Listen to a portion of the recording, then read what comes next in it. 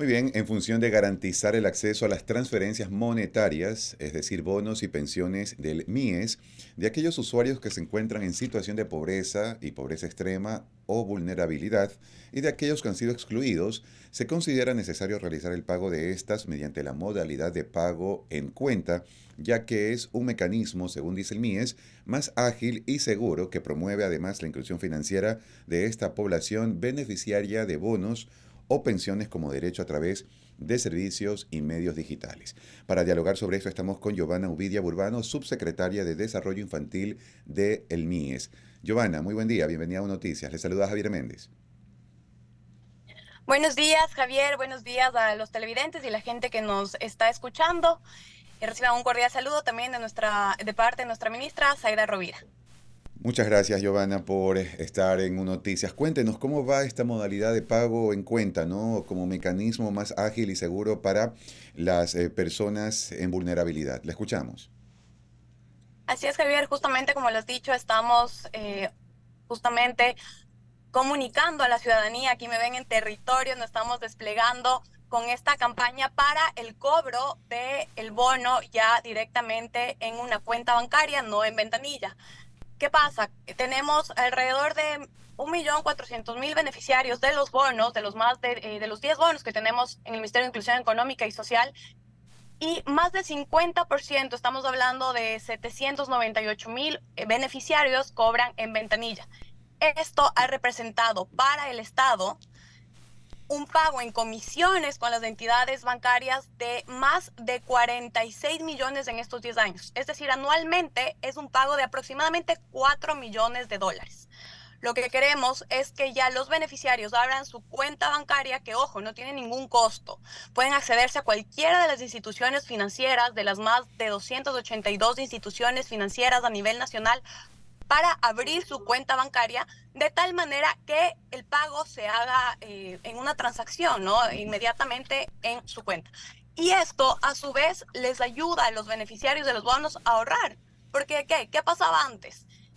Además del cobre en ventanilla, que siempre pues se tomaba su tiempo, las filas, etcétera, el momento que no se hacía el cobro inmediato, ese dinero se, se le devolvía al Estado, ¿verdad?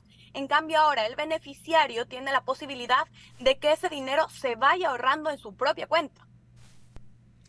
Ahora, eh, Giovanna, el tema también está en que eh, hay que mencionar aquello, ¿no? De que con este ahorro del pago de comisiones que se genera a través del pago en ventanilla, cada eh, centavo, cada dólar será destinado para que posibles nuevos usuarios de bonos o pensiones que estén en lista de espera de habilitación a este apoyo económico y por supuesto que cumplan también con las condiciones para ser beneficiarios puedan ser cubiertos por este beneficio a través del MIES. De acuerdo, Javier, como bien lo has dicho, mira, han sido 10 años que se ha gastado en pago de comisiones 46 millones. Imagínate lo que eso serviría para poder ampliar eh, justamente los beneficiarios del bono, ampliar la cobertura y mejorar los servicios del Estado. Esto en el marco del nuevo Ecuador que estamos construyendo en la línea del presidente Daniel Novoa Sin. Eh, es lo que queremos, ¿no? Eso, poder invertir y mejorar los servicios. Ahora, estos usuarios podrán abrir estas cuentas, eh, cuentas básicas, ¿no? Han mencionado desde el MIES, Giovanna, que no generen costo alguno eh, para realizar este cobro de transferencia monetaria. son casi 300 instituciones financieras acreditadas por el Banco Central del Ecuador. Sí, estamos hablando de casi 300 instituciones, 282 para ser exacto, y no tiene ningún costo abrir la cuenta, ¿ah? ojo. Uno accede al banco con la cédula, abre la cuenta, tiene que decir que va a abrir una cuenta básica porque ya si quieres otro tipo de cuenta de ahorro futuro, etcétera, esas sí tienen costos en algunas instituciones. Pero cuenta básica no tiene ningún costo. Una vez que abre la cuenta el usuario, ingresa a la página del MIES, eh, inclusión.gov.es, accede al, al casiller, hay un, hay un botón que dice casiller, da clic en ese botón, ingresa su cuenta, le piden algunos datos de la cédula, una planilla básica. Y eh, la cuenta accede ahí, le ingresa e inmediatamente está registrado y recibe su pago en su cuenta bancaria. Giovanna, ¿cuál es el total de usuarios eh, de estos bonos habilitados al pago eh, de transferencia que se tiene proyectado y para qué eh, fecha probablemente ya pueda, pueda ser así? Queremos que esto sea inmediato, por eso estamos ya con la campaña y comunicándolos. Vamos a tener hasta cuatro meses y bueno, ya podrán eh, a través de eh, los canales eh, de difusión del MIES podrán enterarse un poco más del tema de desde cuándo hasta cuándo pueden cobrar en ventanilla, pero tenemos un millón cuatrocientos mil beneficiarios del bono. Lo que te comentaba es que tenemos 798 mil beneficiarios que cobran en ventanilla y que esos se les va a trasladar ya a cuenta bancaria. Sabemos que eh, estos convenios que se encontraban vigentes, eh, tú lo has mencionado, eh, Giovanna, desde febrero del 2013 representaron un pago por comisiones de más de 46 millones de dólares a los ecuatorianos durante estos últimos 10 años y solo el año anterior, el 2023, se pagaron 3.4 millones por concepto de comisiones. para estas personas, em, ¿cómo, ¿cómo, se está socializando también estos concentradores financieros? ¿Cómo se va a negociar y cómo va a en qué términos va a, continuar este, esta relación de estos concentradores con el MIES. Ya se terminó el convenio justamente con, con estas entidades, porque como te digo, nosotros debemos velar por la seguridad y el beneficio de los ciudadanos. Imagínate, esos 46 millones eh, de, que se han gastado en estos 10 años en pago de comisión hubiera servido para ampliar los servicios y para ampliar la cobertura de los beneficiarios. Así que todos debemos poner el hombro y eh, saber que viene pues para mejora de la calidad de vida de nuestros ciudadanos.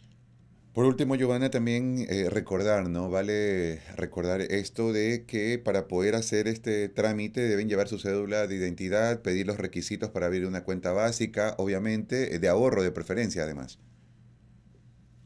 Sí, es una cuenta básica. Esto es importantísimo que sepa la ciudadanía. Es una cuenta básica la que tienen que, que pedir, que no tiene ningún costo. Llevan su cédula, se les da la cuenta inmediatamente en cualquiera de las instituciones financieras y después deben ingresar en el eh, casiller en la página de inclusión. Si es que necesitan, requieren alguna ayuda técnica, pueden también acercarse a cualquiera de los 50 balcones de servicio que tenemos a nivel nacional como institución.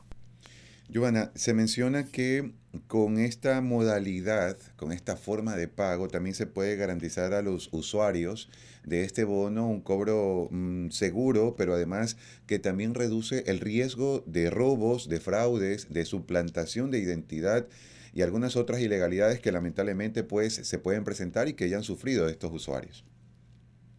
Claro, estamos garantizando, además, de lo ya comentado, estamos garantizando una seguridad eh, financiera también para los propios usuarios y justamente lo que bien has mencionado, suplantación de identidad, que existía mucho, ¿no? Ya con esto, al momento de abrir la cuenta, garantizamos que el beneficiario del bono sea la persona que justamente debe ser y, pues eh, no hay ningún tipo de problema en ello.